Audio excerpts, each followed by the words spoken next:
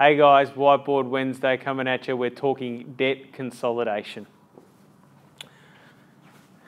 This pretty little picture here is all too common.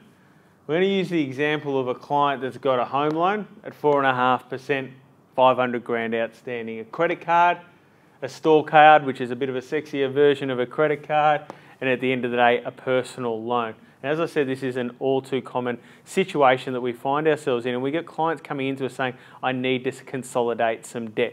We'll get to the most important question at the end. But let's just look at the scenario here. I've got the home loan at 4.5%, 500 grand outstanding, I've got to pay 2.5 grand a month. That's just the interest component.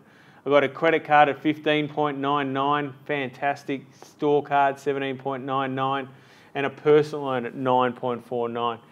15 grand, 10 grand, and 20 grand. So we've got there our 45 grand's worth of unsecured debt. So 545 grand in total, and our repayments, and this is just the interest repayment, although that does have a little bit of principal involved in it, comes to three and a half thousand bucks per month. So we have people come into us and they say, I've just got all of these debts that are you know, mounting upon me. And when you get into this sort of scenario, did you know that in Australia, I think the last, last, last um, uh, statistics or count showed that there was 50 billion dollar billion, not million, 50 billion dollars worth of credit card debt in this country. And and for all those people out there that turn around and say, oh yeah, no, I've got a credit card, I use all my, I pay for all my expenses on it, I rack up points, etc., etc. That's another video in itself. Um, but you know what? You're in the minority because of that 50 billion, 32 billion is interest bearing. So over 60% of credit card debt is actually getting charged interest, i.e. it's not being cleared on a monthly basis. Anyway, so we'll have people come into us and they say, I need to consolidate my debt, I need to simplify things. What they've got to understand is that that's fine if we consolidate all of this debt and we can wrap it all up under the home loan and give them a $545,000 home loan at 4.5%.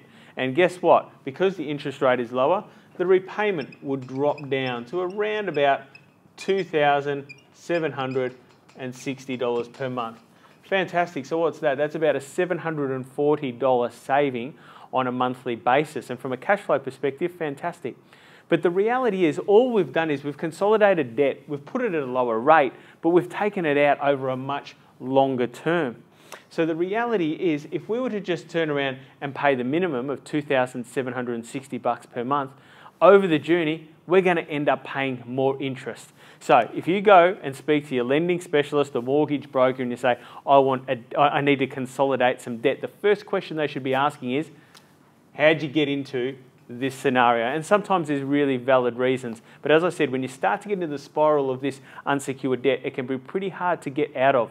What we say is, okay, how did this occur? How do we avoid it occurring again?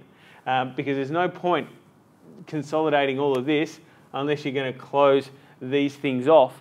And the most important thing to do is ensure that you keep paying at three and a half thousand bucks per month.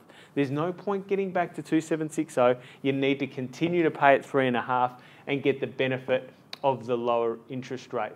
So if you're out there and you're in this situation, as I said, it's a really common one, and you want to have a chat to someone who's going to tell you not necessarily what you just want to hear and take the easy option, but drill down a little bit deeper and say, okay, how did this all eventuate and how can we get ourselves out of that cycle and move forward? Please give us a call, 1300 780 440. We'd love to hear from you. Cheers.